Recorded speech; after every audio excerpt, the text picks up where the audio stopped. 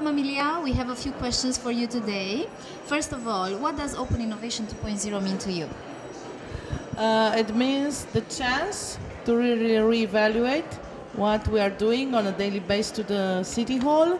It means the opportunity to meet new ideas and think from a soft uh, point of view. So not only innovation in, from a technical point of view, but only how can we uh, how can we be more human uh, and more uh, integrative.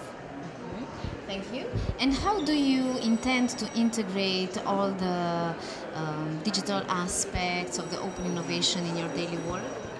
Um, yes, at the municipality we have this uh, very strong project to make uh, bureaucracy more accessible to people, to move towards the digital era, to have the e-governance.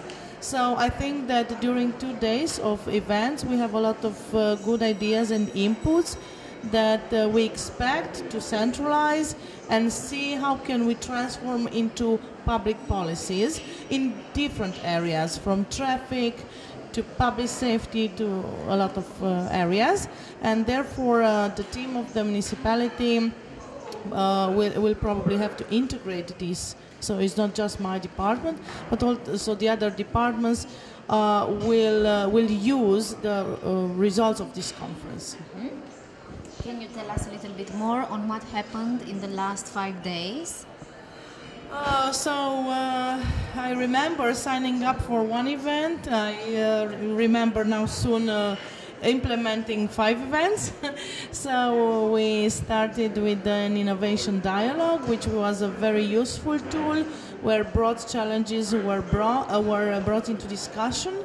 Um, I think the, the results of these challenges were then uh, embraced in a seminar at the University of Babes-Bolyai, the Faculty for Political and Administrative Science, who is uh, helping us to uh, update the strategy of the municipality. And then we entered uh, a very interesting days of uh, helping the cluster, assisting the clusters to have uh, meetings, and having also some um, uh, delegation from Korea who, from far away, were interested of the you know our events and also of the conference. And now we are implementing two days event uh, full of uh, workshops and plenary sessions.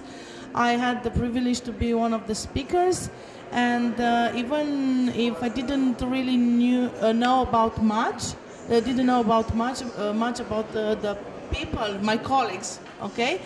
I enjoyed very much because I discovered how much people are able to offer.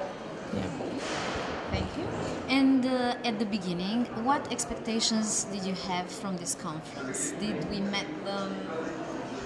Um, well, I don't think it's fair for me to say. The participants should say, but uh, I see everybody being happy, being pleased. We, you know, we made a promise to ourselves because I work in the in a team with uh, Bianca Muntean from ARIES and with my colleague Juana Busato.